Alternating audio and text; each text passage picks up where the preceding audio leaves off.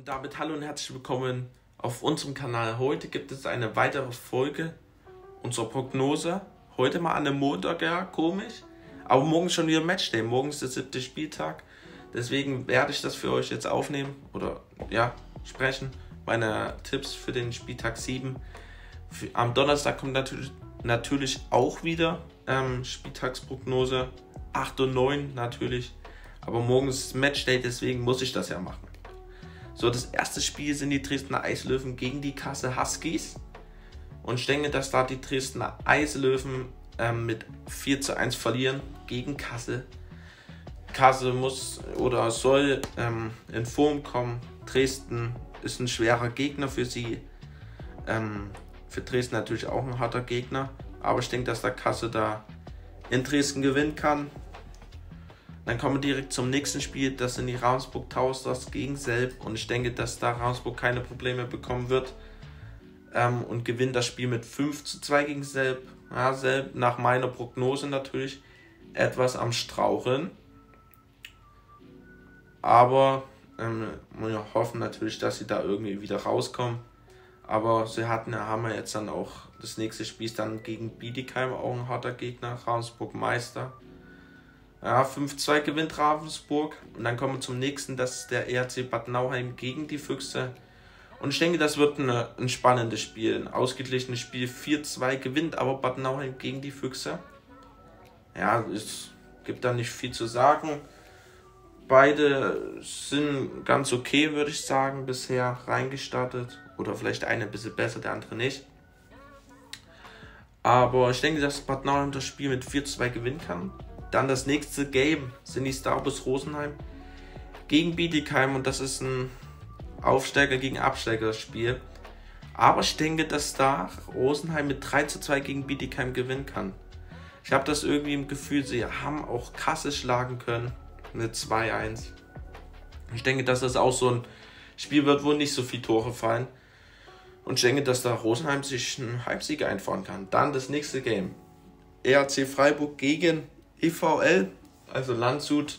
Und ich denke, dass da Landshut mit 5 zu 2 gewinnt.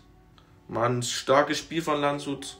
Also ich habe sie ja schon ein bisschen höher getippt, muss ich dazu sagen. Bisher waren sie jetzt gegen Krümitscher verloren, jetzt Lausitz. Ich habe das ein bisschen vorproduziert, also nicht äh, wundern.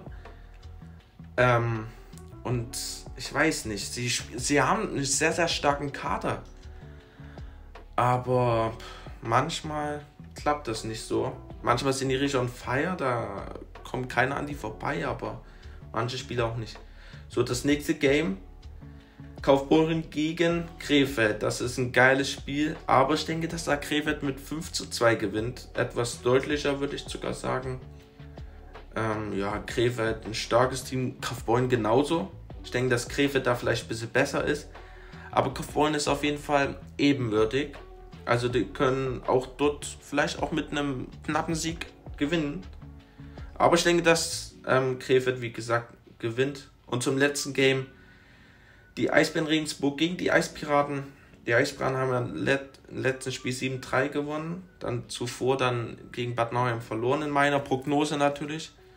Und ich denke, dass da die Eispiraten 3-1 gewinnen. Es wird auf jeden Fall ein enges Spiel.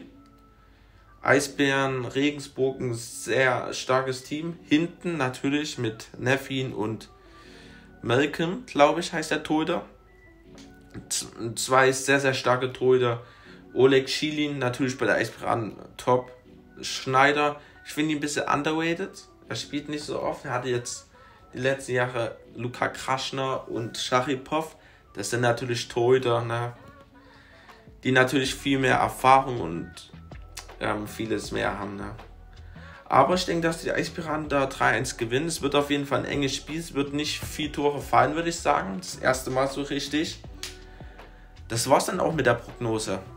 Zum siebten Spieltag schaltet dann am Donnerstag zur nächsten Prognose ein. Kommt 14 Uhr online. Da äh, sind auch coole Spiele dabei, sage ich euch so wie es ist. Lasst Like und Abo da, dann hören wir uns bei der nächst, beim nächsten Video. Am Dienstag kommt NHL. Schaltet da auch gerne ein, lasst ein Like und ein Abo da. Geht auf Community, äh, geht auf unseren Kanal, Community und dann könnt ihr eure Tipps auch noch abgeben. Lasst ein Like und ein Abo da und dann hören wir uns beim nächsten Video.